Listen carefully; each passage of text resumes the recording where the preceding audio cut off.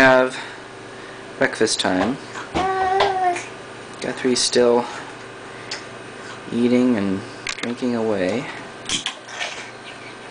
Yeah, but here's Eudora. And Eudora, Eudora over here decided to fall asleep, but she's still not taking.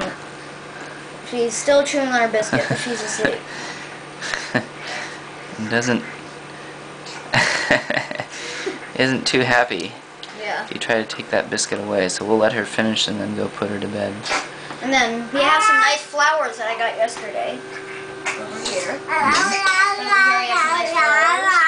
For Riley's dance performance. Yeah. Okay, we'll take more video later.